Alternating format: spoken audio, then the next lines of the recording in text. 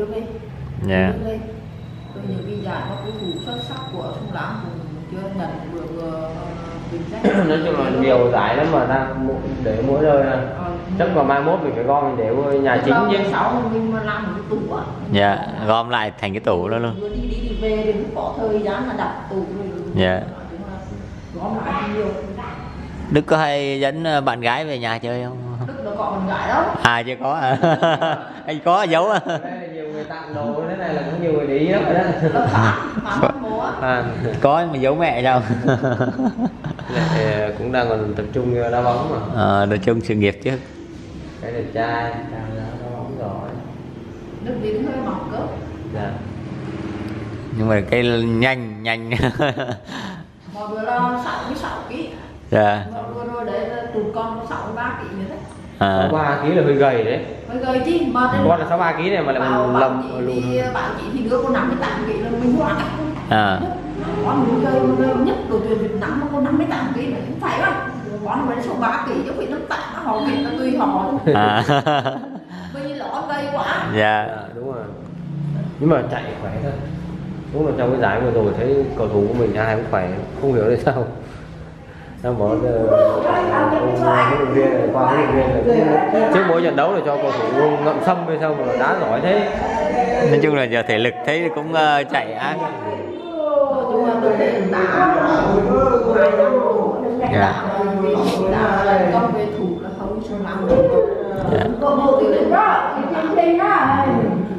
quen Đức là trước giờ là ở lò đào tạo sông Lam. Từ khi à, đá giải nhi đồng đá giải nhi đồng là xong là người ta tuyển vào đó. À phải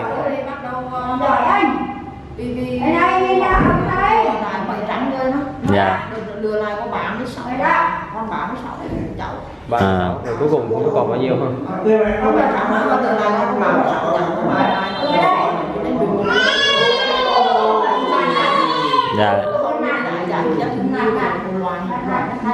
dạ. Thường thường thì ví dụ như là lâu lâu Đức về thì cô hay làm món gì ở Đức không hay là như thế nào? Nó nó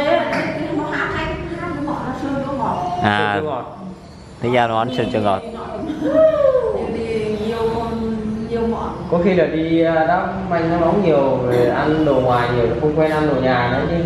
Không đức thích à đồ ngoài nấu. Thực ra ờ, thì ra thì ví dụ như là có đi gần bốn mươi chín á Dạ. dạ quận tháng. Xong rồi đi sang bên đây. Đã xong rồi sang bên ma đã mà đi đã vì cũng được toàn đi về đâu? Dạ. là là nói là ăn lá về ba triệu ăn ngày 3 triệu ờ,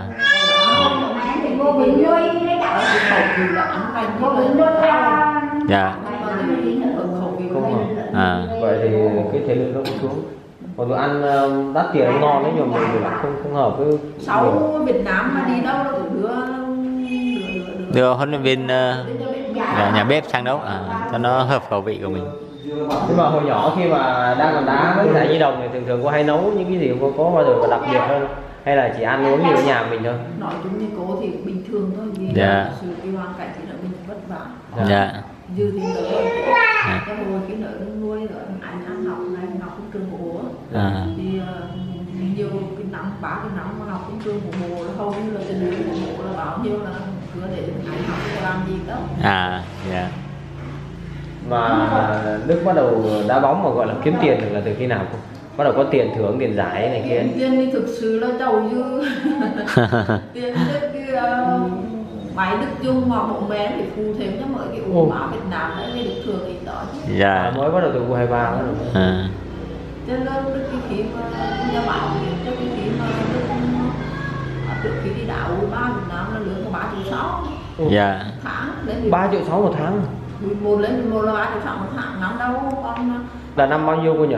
mới đây thôi. 16 26 Vì, ờ, Ba triệu sáu một ờ, trước khi trước khi đi u ba một tháng là là lên năm triệu sáu dạ. 5 triệu 6. xong rồi là về về về về hết đợt u ba về được bảy tháng thì không làm họ Tăng lên. cho tăng lên được 10 triệu vậy dạ. Tức là bây giờ là lương khoảng 10 triệu hả cô?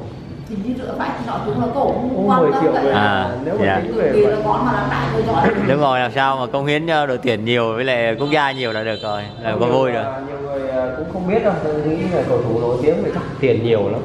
Thực ra là như chắc thường liên quan với cả cái đội nữa thì chắc là cái Dạ. dạ mình Ừ, là nói chung mình trước kia là cái đam mê cái cái đam mê mình đam mê dạ với lại cái mà gọi là màu cờ sắc áo. cống hiến bắt đầu mình mới gặt hái được cái thành quả nó sau chứ mà Dạ. mình cũng không phải là vì tiền lương tiền thưởng này kia mà mình mình đòi hỏi ha.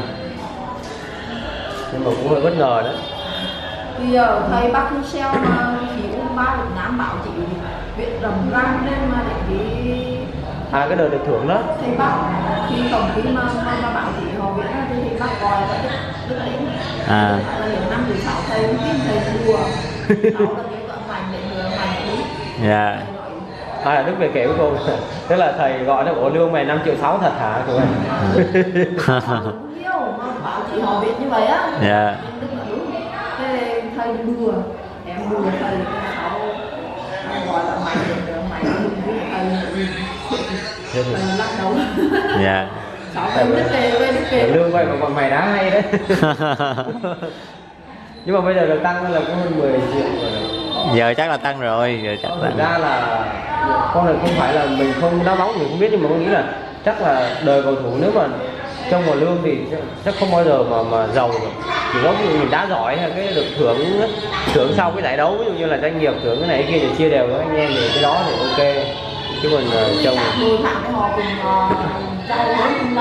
ờ, à dạ sông lam đang ờ, còn nghèo. Nhưng mà sông lam nghèo nhưng mà là lo đào tạo nhân tài. Quế Ngọc Hải cũng tại là nhân tài. sông Lam này. Cũng lắm Dạ. Dạ. Hồi xưa thủ môn Dương Hồng Sơn thứ. Đúng rồi. Nhân tài toàn là sông lam ra không? Ủa mà sao không hiểu sao ở sông Lam Nghệ An nhiều ra nhiều thủ giỏi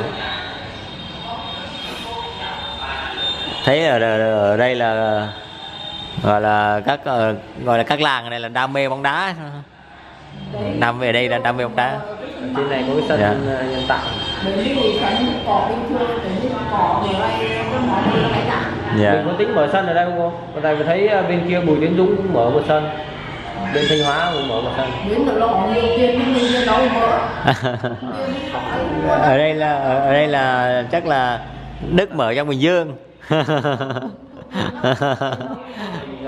mà hay là tập thành kinh doanh như là anh Đức của Bình Dương á anh Đức Ờ, vừa rồi. kinh doanh ờ, giàu giàu lắm. rất cái làng bóng này thế là nhưng mà anh cũng là gọi là tập tành kinh doanh cái đây cả chục năm rồi còn bây giờ Đức cũng thật đi tập Đức đi kinh doanh tập tành Với lại cũng đang còn trẻ mà. Đức thì cũng dạ. hiền quá hiền ờ, là nói thật tha chứ con mà nói mà để mà lắc lẻo là cũng làm được dạ. Hiền đúng không? Có, cái này đang còn trẻ mà đang còn trẻ. Thạnh chưa đang ít tuổi đang trẻ. Có giờ cãi mẹ không không? Không dám cãi dạ. Và hồi xưa đi học có giỏi không cô? À, tức là thường người ta đam mê thể thao thì học có thể nó xa suốt một xíu. Đức từ khi lớp một năm hay học ở nhà đấy. À ở nhà ở quê đấy À. lớp một lớp năm á dạ dạ ở quê đấy thì cùng được ờ, học ngồi cùng với toàn cùng được học Ừ. năm thì được chuyên giỏi năm được chuyên tiếp vậy là tốt Dạ. rồi mà bắt đầu đến lớp sáu là bố vĩnh bố vĩnh học là chỉ được khá thôi tức là À. vừa học vừa đá bóng luôn Ờ, bắt đầu Dạ. lớp sáu học là chỉ được khá thôi Dạ. Ừ. bắt đầu đến lớp bảy lớp tám là chín, Đúng rồi. lúc đó tập trung vào vào đá bóng dạ năm 10, năm 11, năm 12 là đi dạy cũng lại nè Dạ. năm chín tháng mà đi học được hai tháng đấy dạ đi dạy hết Đúng rồi. Lương điều kiện cho để mà học hết ừ. Ờ, thể thao sáu điều kiện bằng thứ hai rồi đi học nữa đi việc học kết đấy Dạ. dạ có bao giờ cô cô nghĩ nếu mà Văn Đức không đá bóng thì sẽ làm cái gì thì mình cũng hy vọng vậy nhưng mà không biết vì vì là cái mình đã được không bảy năm mươi năm đúng rồi cố gắng lên 30 và qua 30 một xíu. Đời cầu thủ cũng ngắn Bây giờ là- Dạ. kinh doanh có thể là huấn luyện viên sau này thế cầu thủ giỏi sau đó hay làm huấn luyện 10 viên? Năm nữa thì chưa biết là như thế nào được. Ừ. dạ. chỉ biết thủ là như đang ta bạn là chỉ cô luôn luôn cố gắng để đạt đúng rồi. Cố gắng làm sao mà cống hiến ờ, cho gọi là tổ quốc thật là nhiều. Có có khi nào mà cô xem đá bóng mà xem thấy con mình bị chấn thương như nào cô, cô khóc hay như nào không cô? Họ cũng khóc thì khóc nhưng mà khi mà giật mình thoát tim. Giật mình họ kiếm cùng trước. Dạ. Cũng như đội bạn nó tại những bộ là mình trước. Trong Dạ. sự là có tình nhưng mà ờ, nhất là khi nắm ở thứ ba Việt Nam của cũng đây qua lại nhà ở xoay ở ngoài À, dạ. ra ngoài đó luôn. Kiện luôn. À. Đứa đấy thì mình hôm qua là gọi là kiện luôn là có mấy ba cái giọng đến là chị hỏi. Chị phải phải có một gì mà đã như rất nữa dạ. Chị phải đánh sót mong được em là có nếu như em có sót không tất nhiên là nghiệp của hắn là chấp nhận dạ. Là dạ. Chân chân này quen đời rất nhiều đau lại thường nhất là cái lần đầu tiên mà lúc cô mình một tuổi mà cái thằng như vậy mà bố ấy mà bố ồ bố mình phải bố là phải có là mình chảy nước mắt cái nhỏ quá dạ. Nhỏ với lại lúc đó chưa quen thì cái va chạm mình ngã sao cho nó khỏi chấn thương. Đang còn nhỏ thiếu kinh nghiệm cô đây cũng nói cũng là cũng cô cống lợn như đức chất dạ Ờ, khi đức cô được hai năm là thì anh bảo bố ba thì tám là anh là bố học trên của bố biết À. người là bố học không biết dạ thì ờ, thì bắt đầu đưa đức ra ở bên anh thuế phong À. mẹ con bố À. anh học bán năm dạ là cô chăm một tay cô chăm lo hết nợ lớn được cho ai nhé chú giờ trong trong kia là chú làm gì? Biết mà chú làm gì Công việc giống- À. cái thứ à à. Không làm công nhân viên mình muốn thấy cũng ổn- ổn lắm đấy là Hàng xóm có mấy người làm. cái không đều. Dạ. Lại còn có phụ cấp thêm cái này kia các thứ nữa. So với các công ty khác. Cô cô cũng làm trong đó luôn? Không bố thì mà hồi ở nhà đấy buôn bạn đấy. À nhà buôn bán đấy. Sáu ồ thế, thế cô với chú là ở cách xa nhau vậy cơ? Sau này cô vào mà. Sau này là cô vào đó. Lăm đó. Dạ. à. Tức là một năm là hai em một em. Dạ. ba mẹ con bố khoảng mười mười lăm hai năm à. Một năm Dạ. dạ. Là mười lăm năm. À. 15 năm. Mười sáu học hệ mười hai mà dạ. Thì đoàn ở sau mình bị đau bị ốm bị ốm đó. Để mà mà phụ cả thứ đó dạ. Hôm qua đức ờ, chắc là xuống sân bay cái gọi cho cô luôn hả? Ờ xuống bắt đầu hạ cảnh ra rồi. À. Bây giờ ờ, biết là cầu thủ xuống sân bay cái là gọi đầu tiên là phải gọi gia đình. Gọi gia đình nhớ nhớ nhà. Dạ. mà nó nó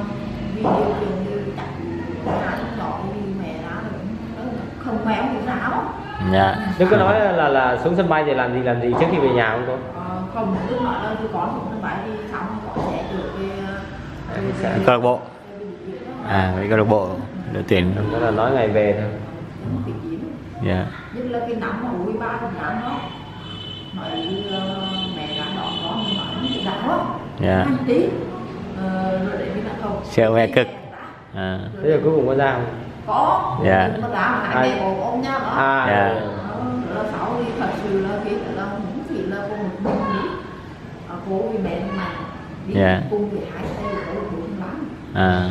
À xuân xuân mạnh là mà của sinh mạng dạ. hai hai tay rồi đi. Đi nhưng mà thực ra thì thầy đừng không lưng ngại biết thầy đó dạ. Sáu- thầy cũng đi đó luôn. Nhưng mà cái đó thì chắc là chỉ có ờ, đức biết thôi. Một vài người trong nhà biết chứ ở ngoài thì khó biết lắm. Dạ. Nhưng mà nói về cái tết năm nay thì ờ, mình có dự kiến là làm to hơn hay là làm cái gì đặc biệt hơn không cô? Hay là cũng cứ bình bình vậy chung bình thường. Dạ. Nhưng nói cũng để nói lắm tết năm nay thì đức về rồi đại gia đình mình sum họp ở đây luôn. Không cái năm nào được về đấy. Dạ năm nào cũng về đây năm nào không về không không năm nào về đấy. Dạ. Nhưng mà giờ khi khi có một nhà bảo điện là nó được nghỉ công an Sài Gòn ăn Tết mà không được năm nào về đấy. Nữa Dạ.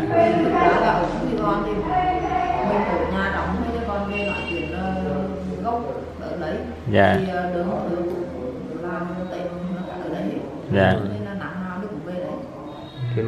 Ờ, sinh ra lớn lên ở đây thì đi đâu quay về đây thôi. quê cha đất tổ ở đây thì mình về mình còn thờ cúng ông bà tổ ông bà tổ tiên nữa. mà con thấy nhà mình trong bình dương thì cũng ổn ổn đấy con có bao giờ tính vào đó luôn. Không chắc là không. Vì thì chắc là hết hết thu hết ờ, tuổi về hả mẹ thì bố mẹ thì ở trong với anh trai ở trong nữa Dạ. Dạ. đi anh trai ở trong đó nhưng mà giả sử mà sống rồi thì về nước thì về đấy.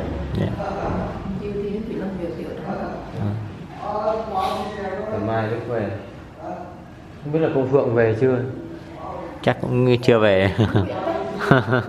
Nhà nhà nhà công phượng có hay, các cầu thủ có hay qua nhà nhau giao lưu không cô? Ờ, thật sự đi ai cũng ờ, về thời gian thì quá rồi cũng Dạ. về để gia đình thôi đúng không? Không không có thời gian để đi. À chỉ là đi bài để thần nhóc à Ờ, năm u ba Việt Nam thì mùng một tết là mạnh xuống đấy à À. có mạnh có mạnh xuống đây lần ba là nước tên À, dạ. Ờ, còn cung phượng thì cũng xuống nhưng mà Dạ. vừa một thứ năm hai thì là em gái cung phượng xuống đấy à, em gái à. phượng à, Cung phượng dạ Thế thì- công phượng các em gái xinh lắm ạ hay để đi mộ. qua. dạ à đi đoạn. đoàn luôn. Mà có bao giờ ờ, đức dẫn một cô gái nào đó về cho một chỉ mình đức và một cô là có bao giờ chưa? Chưa, chưa thấy gì. Đang đang giấu giấu mẹ. Thì nó- lại lo lo lo sự nghiệp trước. ra là nó là Dạ. dạ chưa dám giới thiệu. Dạ giới thiệu dạ đúng rồi.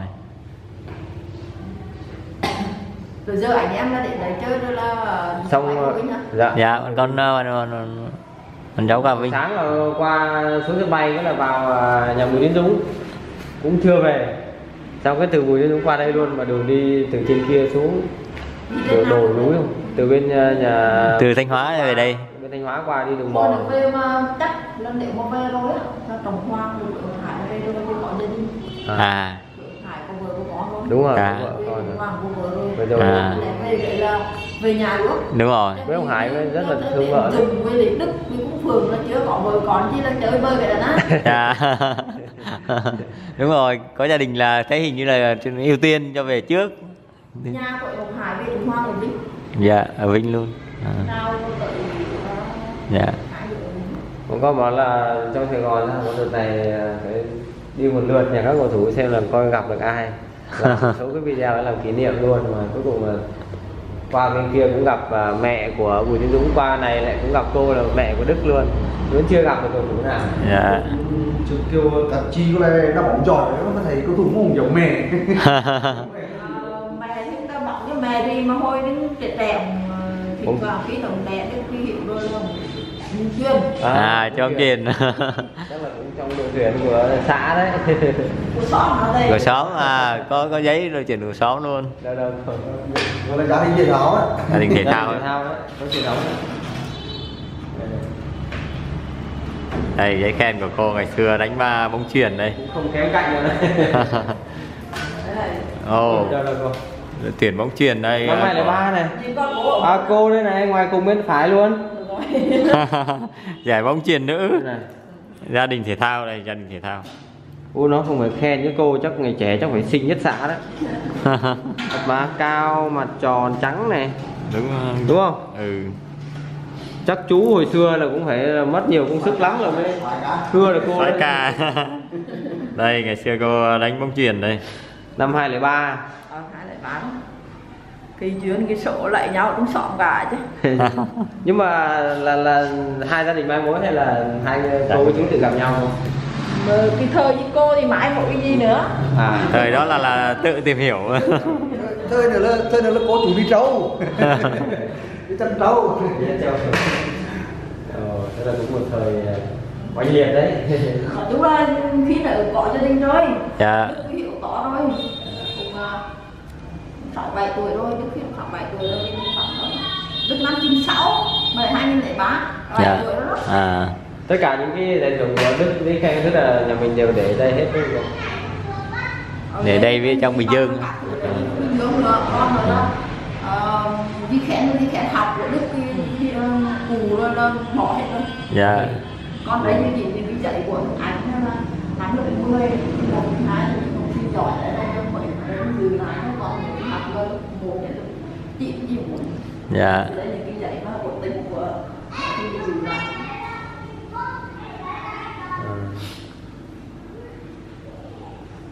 ở quê thấy cũng yên tĩnh nhỉ? Ở đấy Ừ, ở quê yên tĩnh. phố dạ. Nhưng mà như cô ở đó là ở cái nội dung đó mình là cũng, đông á ở đó đông mà. Ờ, trung tâm hành chính bình dương. yên tĩnh. À. Dạ ở nhà đó vậy là một năm cô mới về một lần còn về nhiều lần? Vì là mình đã là cùng đâu à, có bà ở đây mà có bà ở đây. Cùng lần với chị cùng ở nhà cố cũng À. Hà Nội cách ấy. À cái bên này. Hôm hôm về cô đi máy bay không đó ừ. có, có, có về có chờ lâu không? có bị trễ hay như nào? Không. Sáng nay còn ra rồi xếp hàng. Vừa dơ luôn Máy nửa cây số. Vừa là máy mà thì ờ, đi rẽ nhưng mà đụng dơ. Dạ. về. Thì về để có người quen hay là họ đưa tủ đón nó về rồi lấy dạ.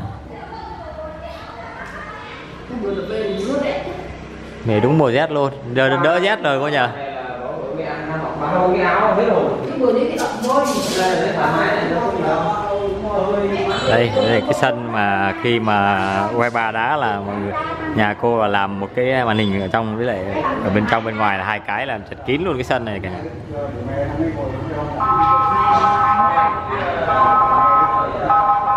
ở đây có cái máy ờ, chạy bộ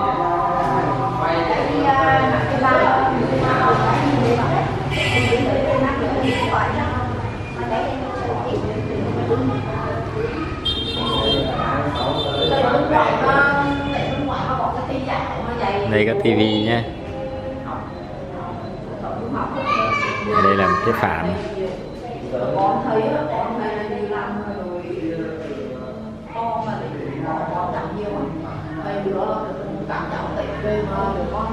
Ba lần đi ba lần một đức cái nói như thầy về đấy thì mà đức về em đều là thầy đấy đi về đức đức con như ở nhà đó để thầy của mẹ gặp là kiếm tiền thầy lấy thì gặp à không thì mẹ cũng đi chơi suốt dạ. lúc về là đi chơi rồi không không ở. Gửi là đi chơi mà cái, cái, cái ngày đầu tiên về. Đi, Ờ, ờ, đi đi á.